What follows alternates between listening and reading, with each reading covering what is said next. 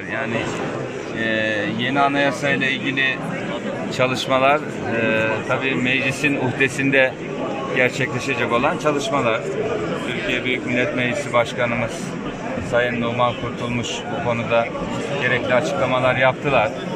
E, yeni dönemde e, demokratik, sivil, e, katılımcı bir anayasa yapılması noktasında, darbe anayasasından kurtulma noktasındaki görüşlerini e, defalarca ifade ettiler ve bu konuda siyasi partilerle bir görüşme yapacaklarını söylediler.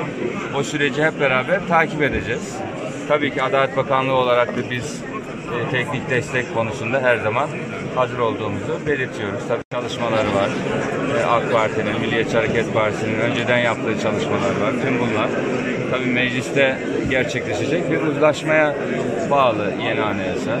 Çünkü yeni anayasa yapımı konusunda Türkiye'nin demokratik sivil bir anayasaya kavuşması ve darbe anayasasından kurtulması noktasında herkes mutabık. Siyasi düşüncesi e, farklı olsa da bu konuda ortak düşüncemiz yeni anayasa yapılması hususunda.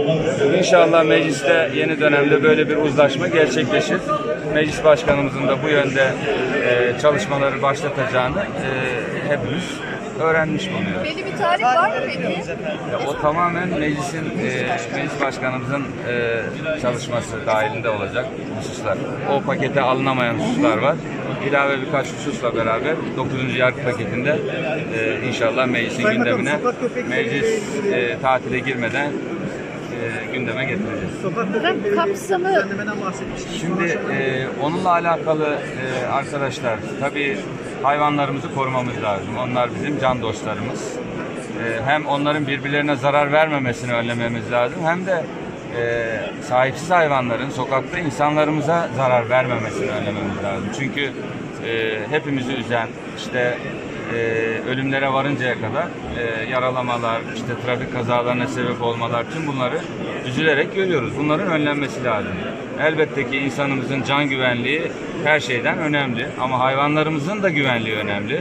E, onların da korunması lazım. Bu konuda hem hayvanlarımızı koruyacak e, hem de e, insan sağlığını tehdit etmeyecek noktaya getirecek bir düzenlemeyi yapmak gerekiyor. Bu konuda Tarım Bakanlığımızın Çevre Şehircilik, Adalet, İçişleri ortak bir taslağımız, çalışmamız var. E, bu çalışmayı elbette ki gündeme getirmemiz lazım. Burada e, belediyelerimize düşen, kamu kurumlarına düşen görevler var. Bu görevleri kanunda e, belirlemek ve ona göre hareket etmek lazım. Hem hayvanlarımızı koruyalım, insanlarımızı da koruyalım. Bu anlamda dengeyi sağlamamız lazım.